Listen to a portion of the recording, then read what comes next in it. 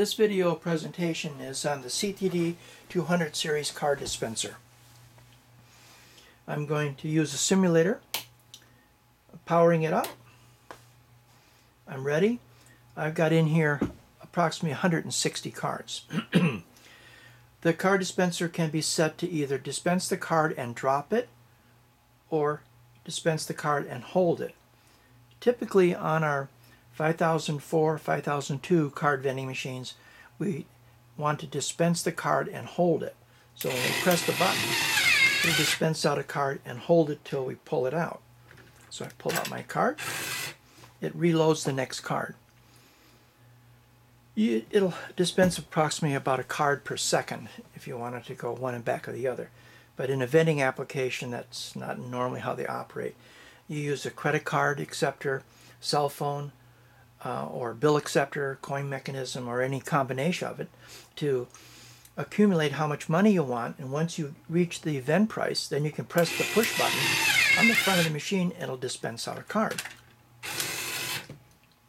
Just to show you the working mechanism here, I'm going to take out this stack of cards.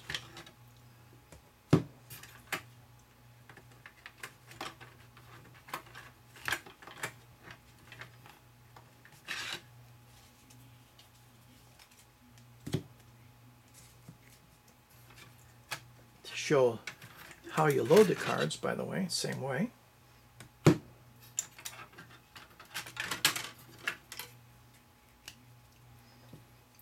And in the dispenser is a little micro switch that when the dispenser is out of cards, it'll click red and obviously uh, stop the dispenser from vending any more cards.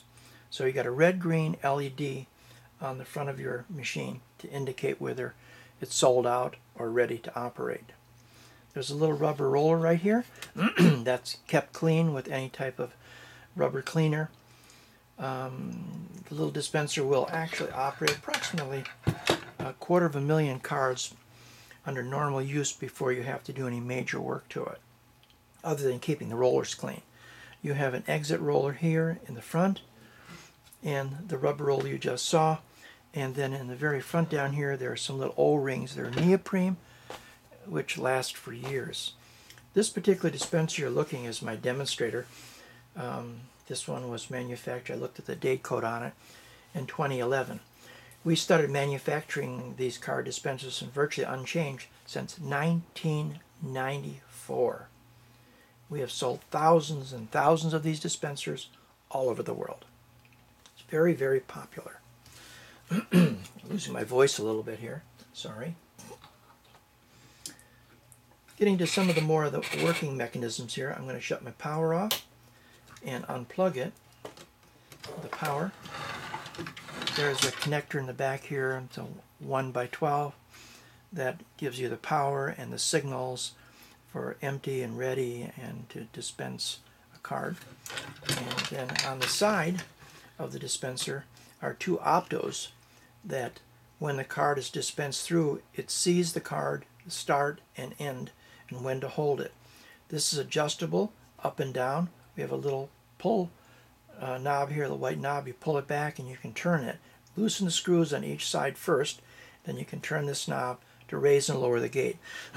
so it doesn't really matter how thick your card is. It can be from 0.012 all the way up to 40 thousandths uh, in thickness. So it's fully adjustable. As the years go by, the materials may wear a little bit. You might have to do a little adjustments as time goes by. There's a grounding screw right here. If you're in a high static area, you want to ground because when you're passing plastic over rubber, it builds up an electrostatic charge. So this is the grounding screw. Depending on the type of card, standard cards are, as you can see right here, this is the setting where you put it. But some Cards can be longer or shorter, and it's adjusted with this. Underneath the dispenser is the control board. The control board has a microprocessor controller. It'll operate with either 12 or 24 volts. We typically operate with 24 volts in the larger 5004 and the 5002 we operate with 12 volts. Uh, you have dip switches right here these dip switches are how many times you want to try a dispense before you put it out of order. And the four, number four switch right here is whether you want to dispense the card and drop it into a box or you want to dispense the card like I have it now with the switch on and I want to dispense the card and hold it. It's a 12 volt DC motor. Um, you know, in our tests, we've run it up to a quarter of a million dispenses um, without any major changes or anything having to be done to it other than keeping it clean. So it's very, very reliable. We uh, offer a repair kit, which is the uh, two rubber rollers and the neoprene O-rings for the custom customers that want to uh, do their own repair. The whole chassis can be purchased for $99 and just throw it away and take the control board and slip it into your new chassis. Um, and uh, I can't really come up with any more answers or, to, or questions to questions to answer for you.